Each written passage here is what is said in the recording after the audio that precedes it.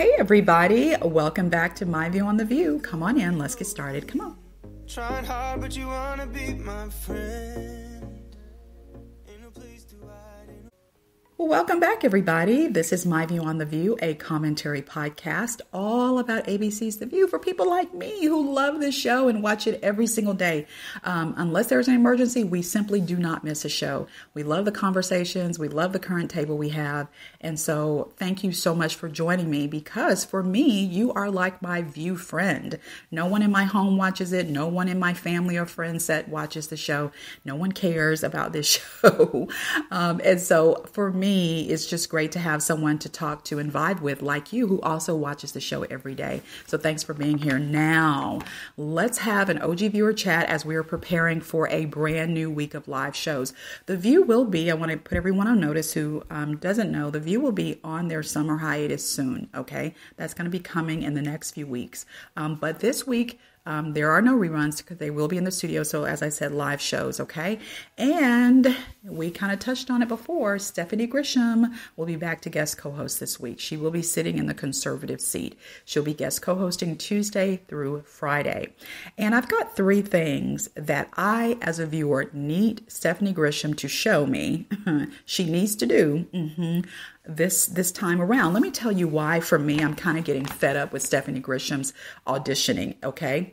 It's because for her, all right, all of her weeks total that she's been there, okay, come up to something like 8 or 9 weeks, all right? We've seen her now consistently for a total of 8 or 9 weeks. And I feel like as a viewer, that is long enough for her to show us what she has, what she's going to bring to the table should she get this job. And um, there, she's seriously lacking in some areas. And I, as a viewer, am kind of beginning to feel like Stephanie Grisham is played out. You know, like what she's got to offer is so like nothing okay? That it's like played out for me. You know my mom and her sisters used to have used to use that phrase a lot growing up when we were growing up. That relationship is played out. Okay you cooking that again that's played out. Oh girl please that that job is played out. Okay i've got another job all right? So for me stephanie grisham if i don't see some change here in these three areas she's just played out for me. Like i'm not uh, i'm gonna watch of course because i love the show itself. So no matter who's there i can just turn on a different channel when she starts talking, right? The way we used to do Meghan. But I will tell you, um, there needs to be some serious movement, okay? Because they're getting down to the wire. So, number one, this week when Stephanie comes, y'all, for me as a viewer, I need her to show me that she can do more than just gossip at the table and tell us juicy stories about her time in the White House. Like for me, that's becoming played out because that's about all we're getting. I'm getting from her as a viewer all these eight to nine weeks. Um, I need more, okay? Listen, all of us, if we're honest, that's if we're honest, we we love a good gossip session. We love the juicy oozy stories about what happened, you know, that nobody's heard. All of us love that. But, you know, after a while, when that's all she's bringing to the table, it's kind of like, uh, heard that, let's move on.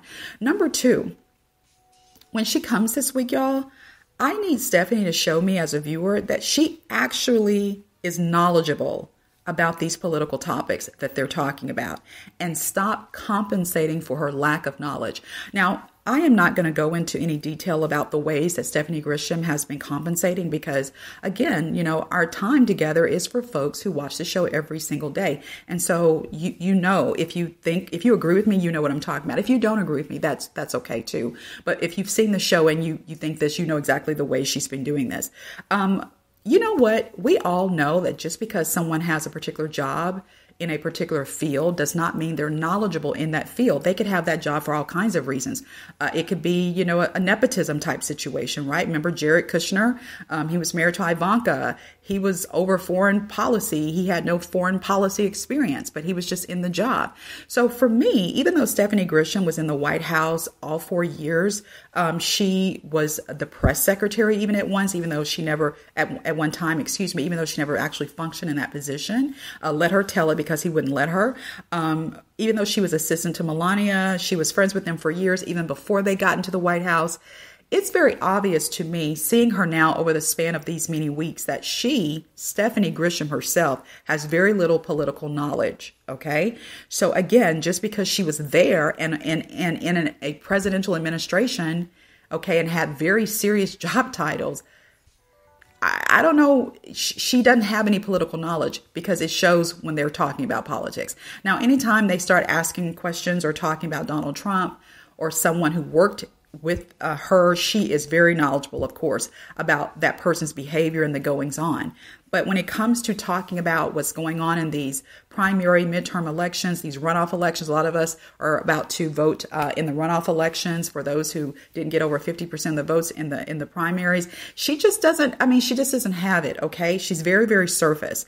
And then the third thing I need to see, okay, because it's like, okay, girl, I'm about to just cross your name off my list as a viewer, okay? I need Stephanie to stop, for the love of God, playing the victim at this table, okay? We all know people like this that every time something goes on, they're somehow the victim, okay? Um, and again, if you've been watching the shows, you know exactly what I'm referring to when I say Stephanie very often. Um, she resorts to playing the victim, okay? She doesn't have any knowledge about this stuff. She doesn't have anything to say. So as soon as somebody says something, here we go with Stephanie playing the victim. Again, it's becoming a played out thing, okay? Um, as I wrap up our time together about Stephanie, I will just say, it's becoming very obvious to me, again, seeing her now over this long span of time, um, that when it comes to this job and this table and these types of conversations, there's just no real depth to Stephanie. Now, I'm not talking about Stephanie Grisham as a person, as a woman. Okay. I'm sure she has a lot of depth. Okay. But when it when she sits down and the cameras are turned on and it's time to talk about politics, it's even time to talk about pop culture. She just doesn't give us much. And that, you know, for me, that that is representative of just no depth in these particular areas, okay? Just very surface, okay? So what I will say is I am very grateful to The View for actually doing it the way they're doing this because it's very easy for all of us as viewers to, because we all have our particular person we want to get this job, right? Um, we all have that. But it's very easy for us to only see someone one or two, three, four times and kind of make up our mind as viewers about whether they would do a good job uh, at the job itself and also whether they would vibe with the women. But seeing the person over a long span of time is really the best route that they could have gone because we've now seen Alyssa Farah over a long period of time. We've seen Stephanie Grisham over a long period of time. We're getting to see Lindsey Granger over a long period of time. Okay, because it seems to me that those are the three women who are in contending for the chair. Again, I think they may give it to Alyssa, but we'll have to wait and see. They may, as I've said before, do a situation where they keep that seat as a rotating seat with just three people. Like we'll see one of those people a week, you know, maybe Stephanie this week, Lindsey next week, so much and such next week, right?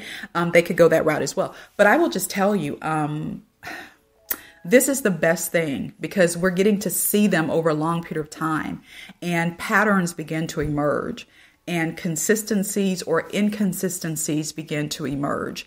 And so I will tell you when Brian Teta told the press that he was going to take a little time to fill that seat, at first as a viewer i was like oh i was tired. Like a lot of viewers like when are they gonna come to a decision? I'm sick and tired of it. When when when? And now i'm beginning to see the value of taking this route it really is it helps you see people and again the patterns and consistencies or lack thereof and now as i end because our time together isn't really about the view it's about me and you i want to now pivot to a greater conversation this same approach is the same approach we all need to take in building relationships and friendships. For all of you listening who are single, take time to actually get to know people. You know, I have heard of people who have dated for three weeks and got married. I've known of people who, I've actually known people dated for like three months and got married, okay? Or less time, or longer time and never got married. We know that each person's journey is their own. But the safest route to go is to take time to get to know a person. When you're going to get in a business relationship, when you're going to, um, you know, let's just take it to another type of decision, move into a certain home, take the time to do your research on that home, on that neighborhood. Take weeks if you need to. If you're in a situation where somebody's like, you got to make a decision today, you got to make it within 24 hours, you may need to pass that up. If you haven't given yourself the time it takes to truly research and, and, and know exactly what you're doing, if you're thinking of changing churches, if you're thinking about changing schools, changing majors, any decision in life, give yourself, and I should give myself as well, time to truly let let things play themselves out so that we can see the patterns. We can see what is really going on here. Um, i will tell you it's better to put time in up front than to have to try to make it up on the back end. So again i'm very grateful that the view is taking their time to to fill that seat. It seems to be the best thing to do. Um, one of the things we identified is with alyssa you know um, now, Alyssa is not my choice to get the chair, even though, like, she's not the person I would choose as a viewer. I personally would choose someone else, but I'm going to understand what they're looking for, and the person that I would choose does not fit that, okay? But I will tell you, one of the things that has emerged about Alyssa is that she was doing really good at the job, right? Initially, those few weeks. Now that we've seen her over a longer span of time, we can see she can, they back her down very easily. They back her down very easily, and it's becoming a pattern now right? Um, Lindsey is still too fresh for us to identify her patterns. Um, she's only had two chemistry tests. So when we see her the third time, we'll get to see some things there that are consistent or inconsistent. Um, so, anyway, guys, thanks so much for tuning in to our Sunday OG viewer chat as we prepare for this week's shows. Um, yeah, you know, guys, I will tell you, um, the season will be over soon. Um, May will be over soon. They're going to go into their summer break, and then the season will be over in August. So time is moving by very, very fast. So we'll just have to see kind of how everything works out with our show. Well, guys, thanks so much for tuning in. This is My View on the View, a commentary podcast all about ABC's The View. I'll talk to you on the next one. Here we go, here we go again.